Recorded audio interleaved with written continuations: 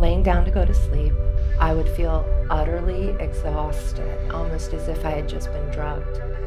And my eyes sealed shut, my mouth sealed shut, and it's as if everything was shutting down except for my awareness, my consciousness.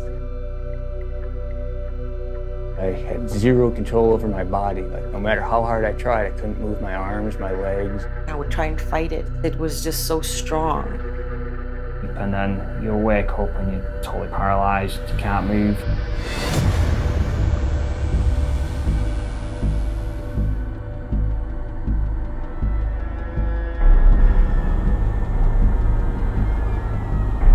I began hearing voices and screams and crying. I would hear all the sounds of hell.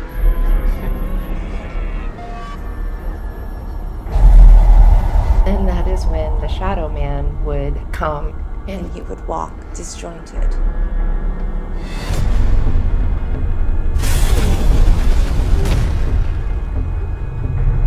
It's a kind of horror that is worse than like in the movies.